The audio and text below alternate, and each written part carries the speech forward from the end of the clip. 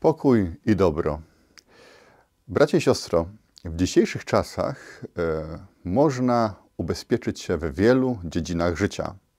Rolnicy mogą ubezpieczać swoje plony w razie suszy, gradu czy innych niedogodności atmosferycznych. Można ubezpieczać swoje domy. Można ubezpieczać się na życie.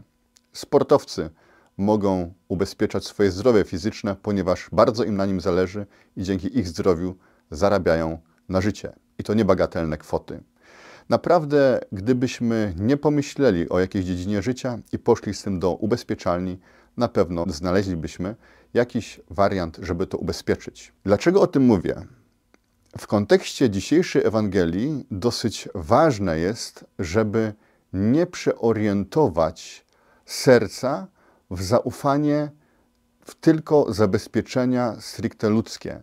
Dlatego, że Jezus, gdy dzisiaj, w dzisiejszej Ewangelii, wysyła apostołów na misję, to każe im nie brać na drogę ani laski, ani pieniędzy w czosie, ani chleba.